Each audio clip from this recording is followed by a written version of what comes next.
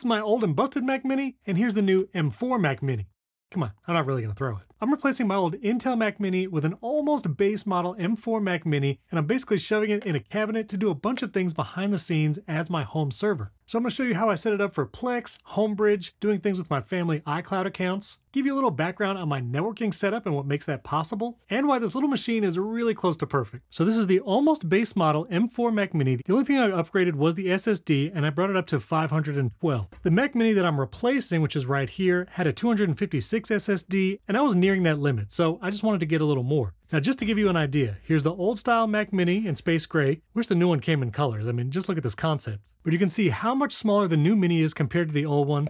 And here's actually the newest 4K Apple TV if you want that comparison as well. Thickness wise, you can see the old Mac Mini versus new versus new Apple TV. And the new Mac Mini is the tallest, but you just cannot beat this compact size. And this is gonna be perfect when I shove it in a closet and never look at it again. And before I go plug it in, I love these two USB ports on the front because this is mainly gonna run headless. And the few times I wanna plug in a keyboard and mouse, these are going to be really convenient. And on the back, I hardwire it via Ethernet. I do have some Thunderbolt accessories I want to talk about. And for the HDMI port, I was going to connect this to my receiver, but I was actually having some trouble with that. So I'm going to use this thing, which I've been using for years. It's basically a little HDMI dongle, and it makes the Mac think it's connected to a 4K display. This way, when you screen share over the network or use an app like Screens, I'm going to show you how I have that set up, you actually get a nice big display rather than kind of that smaller window. So I'm to go plug this back in and then I'll show you how I use it. So this M4 Mac Mini is actually going to live in the entertainment center in my family room connected to Ethernet, several USB devices, including an Elgato video capture device, which I'll get to in a second, a webcam, and it lives alongside my UniFi little mini switch here, as does the Apple TV that I just showed you. And then as far as the full network side, I have a closet here with a Ubiquiti system. I have a Dream Machine SE, another switch, plus I have my Synology NAS, and two APCs making sure everything stays powered up. Now, if you want to go back and see me like wiring the house and doing the entire network setup, I actually have a whole playlist called Building a Smart Home, and I actually walk through it like from the studs, like me running cables, so you can check that out up here. But once I started up the Mac Mini and put it in that cabinet, I'm probably never going to see it again, and it was tough but I pushed that power button the one time I'll probably ever touch it. Now, how I normally access it is either from a Mac, either my Mac Studio here or my laptop, I just share the screen and I have a few things that automatically open. So I have this Mac Mini to set up to auto log in to my account and I feel pretty secure because it's headless. There's no other way to control it except when I share the screen or use the Screens VNC app.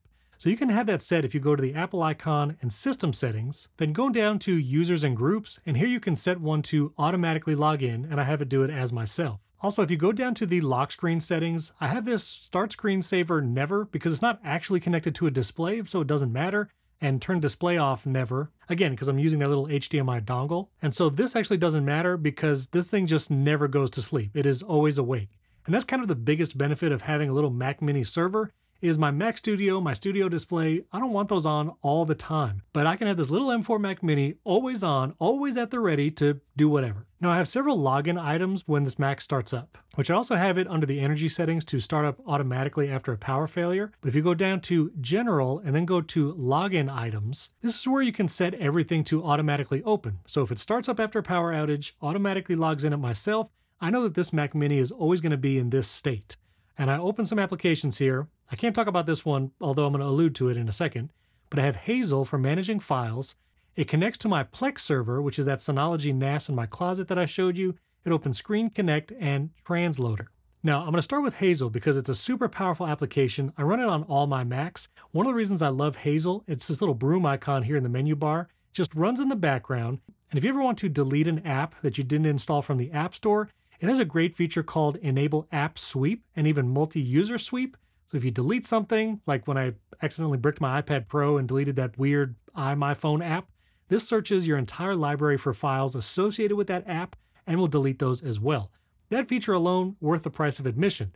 But Hazel, you can actually create rules to move files to certain directories or folders as they appear. So this Mac Mini has a rule where anytime a video file hits the desktop, with an MP4 or MOV extension, it's going to move those files to my Plex server, which is why I automatically have the Plex server attached to this Mac Mini. And I have a folder here called YouTube, which I'll get to in a second. Now, having a server like this always at the ready, you can probably use Hazel to do lots of powerful things, and I want to be figuring out some more things to do with it. I never wanted to overload this Intel Mac Mini, and I also just wasn't crazy about having my iCloud account and stuff syncing with this old of a Mac and being Intel. Maybe that's paranoid, but I just wanted Apple Silicon everywhere. Now, the other way I'll access this Mac if I'm not locally at my house is Screens. This is an app from Edovia. Screens Connect is super powerful. You install the utility on the Mac you want to access, and then you can have apps on your iPhone, your iPad, or other Macs, which lets you VNC into those computers from anywhere. You see, it automatically quickly VNCs into the computer. I can use my iPhone screen as like a trackpad. I can zoom in on the display and really use this computer from anywhere. I don't typically like having a VNC running on my main Mac all the time, so the Mac Mini Always On is another way where I can network into my house from anywhere in the world, but I'm not keeping a ton of sensitive information on that particular computer. Now, like I mentioned, the one thing I updated on this Mac is the SSD, which I like going to View, Show Status Bar, and then you can kind of check the available space. So I have under 300 gigs available, which I feel this is going to last me a long time, again, because most files just get moved to the Plex server. Now, kind of my most common use case here, and I'm only going to be able to talk about it in general terms, is I use the app called Transloader. You can have Transloader on a Mac, and I have it installed on multiple Macs, and then you can have the app on your iPhone, your iPad, and your other iOS devices. And Transloader basically lets you take any link or basically anything from the share sheet. So if I was here, like in YouTube, I can hit the three dots, I can go over and hit Transloader. Then I can send this link to any of my computers, including the M4 Mac Mini. Now, once Transloader gets that link, you can have settings here where Transloader decides what to do with it. It's here under the Actions window. Now, a lot of the links I'm sharing are of a particular kind, and so I have those links automatically sent to this application. And then that application does some other things and moves it to my Plex server. Now, I can't tell you all the details about what I'm doing there, but I will put a sneaky link down in the video description if you would like to see my whole process and talk about those two apps in more detail. So it's down there. Now, technically, you can move your photo library on your Mac and you can go to Photos, Settings, and here actually choose a different library location. Now, I tried to do that on my Mac Studio and it gets a little weird saying it's going to stop iCloud syncing and all that. And I asked the ATP guys and they said they really like keeping their iCloud photo library on the local SSD of their Mac. So for this one, I'm actually going to move this to my Synology, basically by going to my Synology and copying it somewhere in my home folder. That's going to take a while, but then I'm going to point this iCloud Photos library to that library and see if it syncs. So subscribe, follow along because I'll be doing that soon and I'll let you know how that process goes. I'm a little nervous, I'll be honest, but we'll see. The other two big use cases I do regularly is my kids have iCloud accounts and they're in an iCloud family, but they're not attached to a Mac because there's no family Mac. So what I like doing is actually having their accounts logged into a Mac if I ever need to manage it or change screen time settings. And this way it's syncing now to an Apple Silicon Mac because I found having the Intel one as part of the iCloud family was a little funny. Plus they can also log in as their user, which comes for this second big reason. My middle son wants to do more video game streaming for Fortnite, and because he doesn't have a Mac available, streaming that and doing a video camera is really hard. So this M4 Mac Mini is going to become a mini streaming machine. Now, I've used Ecamm to live stream before. That's a great option. I'm actually going to use Riverside to live stream because I can also get high quality recordings and that will be saved to my Riverside account in the cloud rather than the local Mac, so it's not going to be taking up as much SSD space. Disclaimer, yes, I work for Riverside, but yes, I also just use it for Primary Tech, my video podcast, which you should totally watch it right up here. Now, I use Brave when I'm using Riverside or for anything that I need a Chromium browser for, and just so you know, there's actually an iCloud Passwords extension that you can add to Brave or Chrome or Microsoft Edge. So you don't have to save passwords to the local browser. And I typically pin it up here in the toolbar. And now I have all my iCloud passwords synced in this browser, but nothing saved locally to Brave. It's still my iCloud passwords. So I can log into my Riverside account. Again, this is the M4 Mac Mini that's by the Entertainment Center in the family room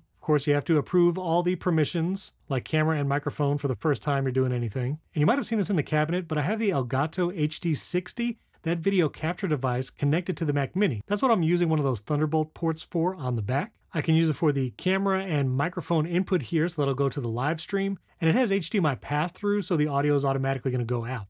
Now, instead of using that for the mic, I can also connect a USB microphone, which is why I have that other extra USB-C cable connected to the back. And then once my son starts up his PlayStation and he's streaming, I can then add things like Twitch, a YouTube channel, or any RTMP destination. And then he could have a USB microphone. That Elgato, cap- that Elgato capture device is right here.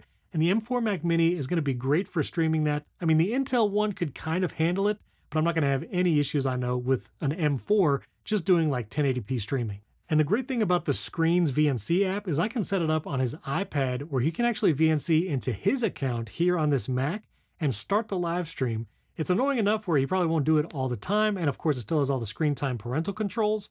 but it makes it possible where he can do the streaming, he can start, record it, do all of that, all being powered by that tiny little machine in the cabinet. Now, one of the things I was using the older Mac Mini for was Homebridge. And if you're not familiar, Homebridge is kind of a third party hacky way of getting smart home devices that are not directly HomeKit compatible into your home app.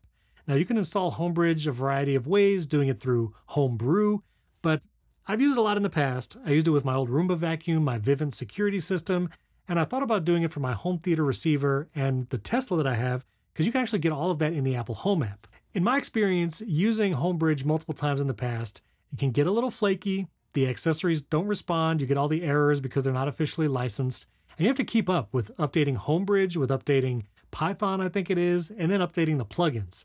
I've decided I just don't want to do that. And so if you have a Mac like this in a closet, Homebridge is a great option. I know there's a lot that use Home Assistant, and that might be a more powerful option. I might look into that. But let me know down in the comments. Are you going to use something like a Mac Mini or do you use a Raspberry Pi for Homebridge or Home Assistant? And do you find it worth it? Like what accessories actually make that worth it? Let me know. But if you have any questions about this setup like Hazel, Transloader, or more, just leave comments below this video. I'd love to answer you there. And don't forget to subscribe to the channel and hit that like button. I recently went over all the updates to macOS Sequoia 15.1, which I can actually get Apple Intelligence on this, but all the features I go over in this video right here are actually not Apple Intelligence. They're just for any Mac that runs macOS Sequoia, like iPhone mirroring with drag and drop and more. And if you want to learn more about my smart home, I actually did an entire tour with all my smart home devices. I'm going to be updating that tour for 2025, but you can see the last version of it right here, over 100 Apple HomeKit devices. So hope you enjoy that too. Thanks for watching. I'll catch you next time.